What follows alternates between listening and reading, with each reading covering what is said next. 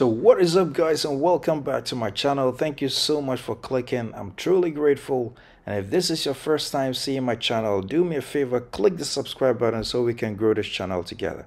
So guys, on this lovely day here in Shanghai, I decided to do a day in the life video because I realized that I've been running this channel for well over two years now and I'd never done something like that. So I wanted to bring you a typical day and the things that I'll do on a typical day in Shanghai. So come with me, let's go.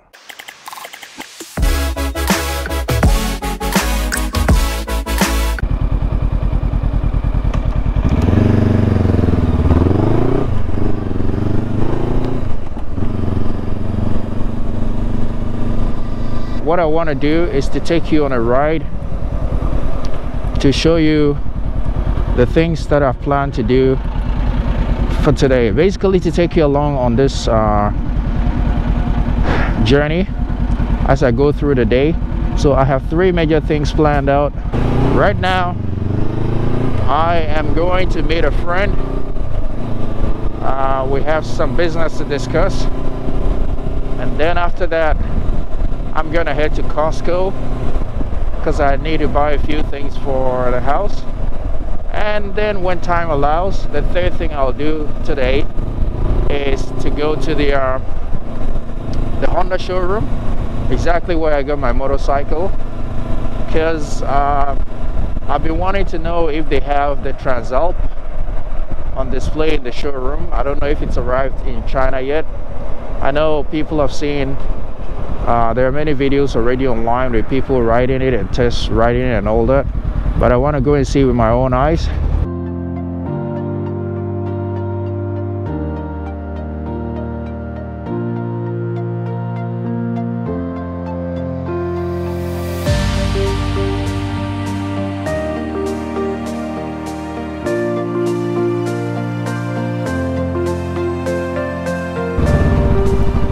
So turning left here takes us to some part of the university town and uh, my friend's office is right in the university area.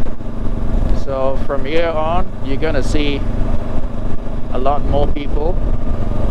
It brings back memories to my school days.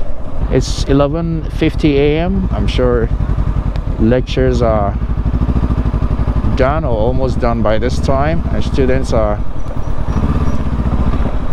going to find something to eat. So this is kind of like a commercial street in the university town. And my friend's office is right at the end of this road. So I'm just gonna follow this traffic no rush. And then uh, go have the meeting with my friend and once I'm done it's on the way to Costco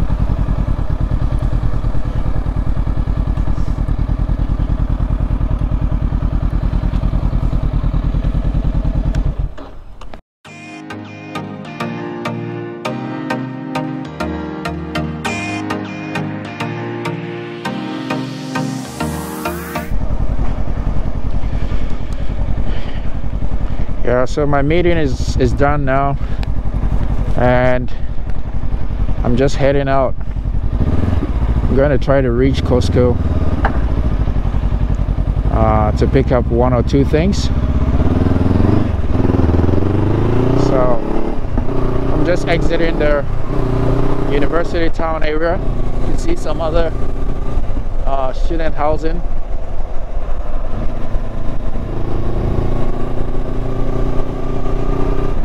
looks like a really serene environment in which to study, the way this place is set up.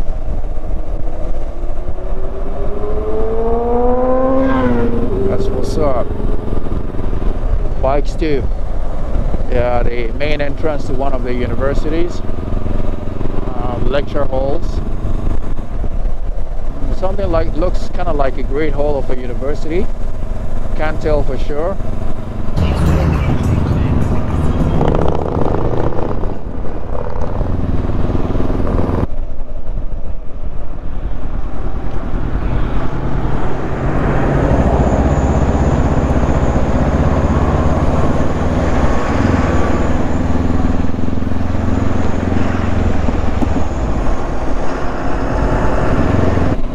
Who know Shanghai, the Happy Valley amusement park is on my right. So that whole area is Happy Valley.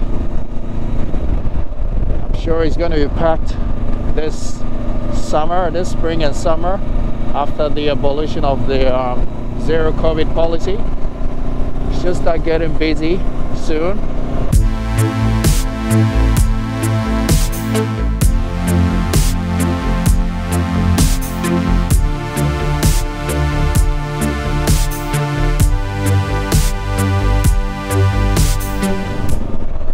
Guys, so I'm getting close to Costco. I have the Shanghai Singapore International School right here. And there are a couple of international schools around here as well. But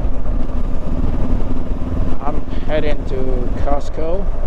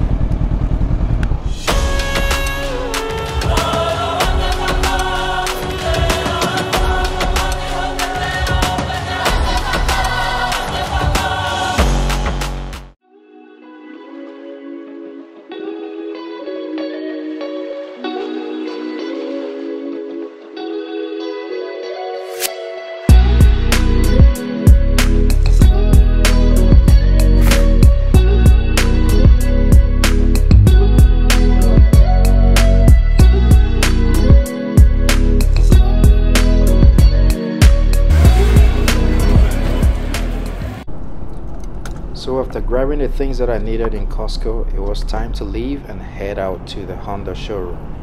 Yeah, I need to set my GPS now to the Honda Goldwing. Where is it? All right. So I use AMAP. AMAP is a local Chinese GPS um, software app, actually, app rather it's a very very good app. They have baidu maps and Amaps. I kind of prefer Amaps because baidu just has too much information but a is a Amap is kind of straightforward. And even though i don't write chinese i'm just gonna try to type it. And um, whatever comes up.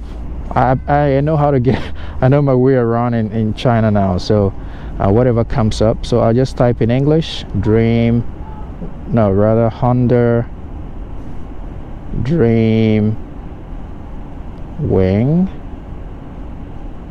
Is the only Honda Dream Wing showroom in Shanghai so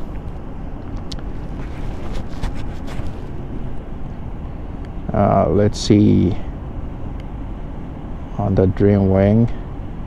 Must be that one. 7 point yeah that's it. So it also shows you a picture of uh, the place where you're going. So yeah that's the place. I know this place for sure. And then just make sure my GPS is on. And then navigate. And as you may know it's not all roads that motorcycles can take in in, in Shanghai. So the number plate that I have allows me on certain roads. But what you do is you input your uh, motorcycle number plate in the in the map saved on the app. So whenever you navigate using the motorcycle route it automatically take you on the roads that your number plate is allowed. So for example this is for cars. That is for public transport. That's for the bus. Bicycle if you're riding a bicycle if you're walking um, some other public service. And you have rented electric cars. You have the airplane which is uh, uh, I have the subway. There's no subway close to this place. You have the train you have trucks and then you have the motorcycles. So uh, my helmet my my glove just dropped. I'll pick it up. So if you can see my motorcycle number is right here. And at this point it's telling me that there are some routes I can't take. That's why it's highlighted in red. But if as soon as I I navigate it's going to take me on the roads that uh, I can I can take. I think I need to go back yes. All right it's telling me 26 um 26 minutes 8.4 kilometers and you can see motorcycle. So when I click motorcycle consent and that's it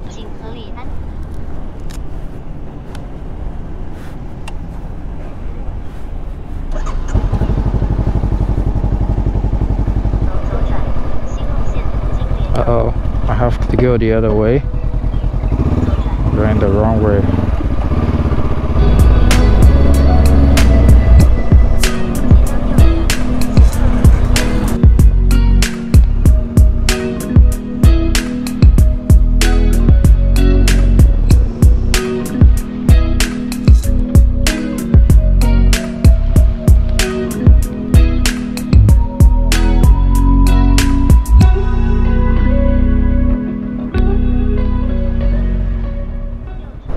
never been to Costco at this time of the day. On a Wednesday 4 p.m. I never thought there would be this much traffic here. I thought the traffic will start much later in the evening. Uh, yeah so this is this is new new for new for me. I think I might have to so let me just say that I really enjoy using the Amap uh, my the screen might be flickering uh, maybe due to camera settings but it's not flickering at all at all on the phone. So I like using Amap because it's very very clear and very detailed as you can see in their shot. It even gives you a layout of the exact plan of the road around where you are and it tells you which lanes to take. At the moment it wants me to take any of those two white lanes and it tells me with the yellow arrows exactly which uh, which road I should take once I, I cross the intersection. So it's really really cool. Although I don't read Chinese characters it's still very very easy for me to use because I've been using it for a while. And uh, you all you the good thing is you can type the address in English characters and it'll pick the address for you in Chinese and give you several suggestions. And sometimes I do know the approximate uh, kilometers that I'm going to so I use that sometimes. And other times I just uh, most of the time the first address that populates is the one that is the right one for you. So yeah um, I really really enjoy using it. And it's it's uh, it makes driving around Shanghai or the whole of China so easy. Road infrastructure in, in China is just insane. So many elevated roads so many intersections. Everywhere you go. So without a GPS it's it might be confusing driving around because there are so many so many turns so many elevator roads. It gets really confusing and if you want to be reading the road signs all the time it's going to be really tiring to drive around. But with a GPS you don't really have to read the signs you just follow where the map asks you to go. So that's that's a that's a cool thing. I'm really happy that this map is available. Otherwise navigating Shanghai would be a very very difficult task. Yeah guys so I've just arrived at Honda Dreamwing the official big CC Honda motorcycle uh, dealership here in Shanghai. And yeah once you get here you know they mean business.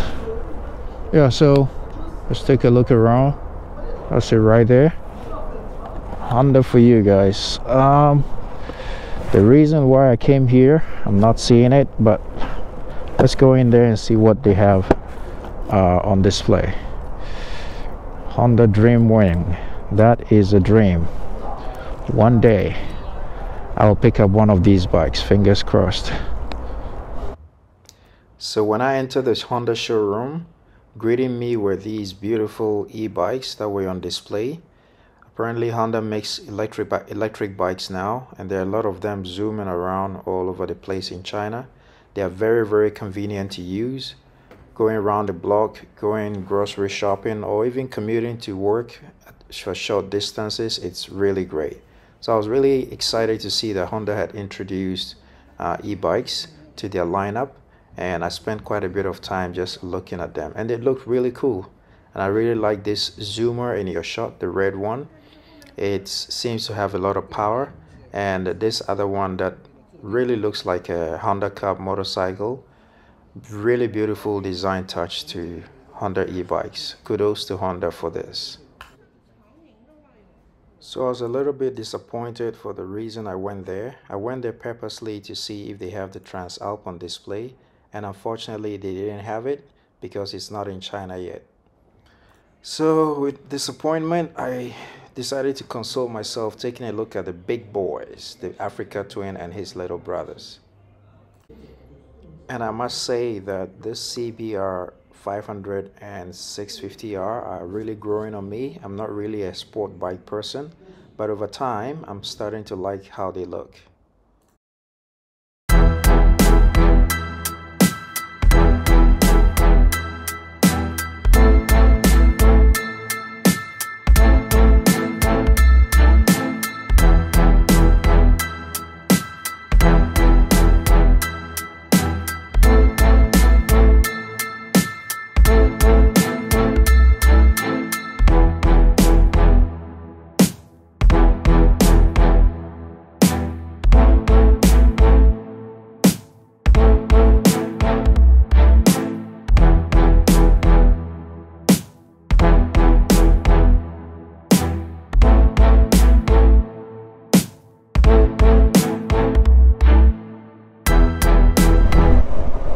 Guys so it's